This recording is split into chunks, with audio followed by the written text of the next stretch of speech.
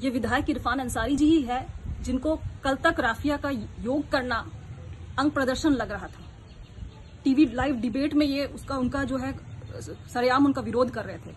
और आज वो उनको छोटी बहन की उपाधि दे रहे हैं। मैं पूछना चाहती हूँ विधायक जी से कि क्या आप अपनी बहन को, आपकी बहन के लिए आप इस तरीके का अपशब्द इस्तेमाल कर सकते हैं? सोचने वाली बात है कि अपनी सारी सामाजिक मर्यादाएँ को जो है, विधायक जी भूल चुके हैं। और ऐसे लोगों को कानूनी आईना दिखाना बेहद ज़रूरी है, ताकि समाज में महिलाएँ जो है, स्वतंत्र रूप से अपने मन मुताबिक वो विकास कर सके, काम कर सके और आगे बढ़ सके। और समाज और देश का, दोनों का नाम जो है वो रोशन कर सके। नहीं, ऐसी कोई बात नहीं है कि कोई इरफान अंसारी महिलाओं का अपमान करेंगे। इरफान अंसारी को माननीय विधायक को महिलाएँ भी वोट देती हैं और दोबारा जीत करके आए हैं तो सिर्फ़ पुरुषों के वोट से नहीं जीत के आए हैं, महिलाओं के लिए भी वो जीत करके चुनाव आए हैं।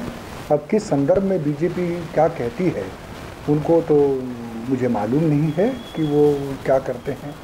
लेकिन महिलाओं के साथ किसके क्या प्रसंग हैं, प्रेम है, मोहब्बत है, ये सब दुनिया जानती है। इसमें कोई न किसी से कुछ छुपती है। राजनीतिक जीवन, सामाजिक जीवन ऐसा है और ऐसे भी आजकल इतने सारे टेक्नोलॉजी हैं कि किसी की भी कोई चीज़ें छुपती नहीं है। कौन क्या कर रहा है?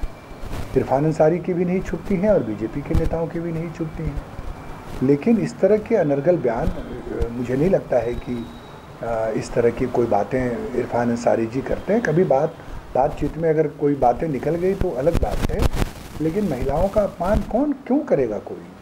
और वो भी सामाजिक जीवन में, राजनीतिक जीवन में रहने वाले लोग तो ये सब कैरेक्टर बीजेपी के लोगों का है, उत्तर प्रदेश के कई विधायकों, सांसदों की हम लोगों ने कई कहानियाँ देखी हैं कि किस तरह से जो है वहाँ महिला का ने जो है अगर एफआईआर किया तो उसको जान से मरवाने का काम बीजेपी ने किया। किसी से छुपी हुई है क्या? इसलिए पहले अपने गिरमान में देखें कि उनके नेताओं का, महिलाओं के प्रति क्या आचरण रहा है और कितना वो संजीदा है इस मामले में।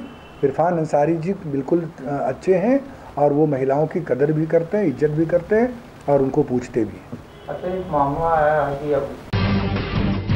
जब टूटती है आस जब थकती है सांस, जब रूठते हैं अपने, मुँह मोड़ता है जमाना, जब अंगड़ाई लेता है संकल्प, फिर बनती है कहानी।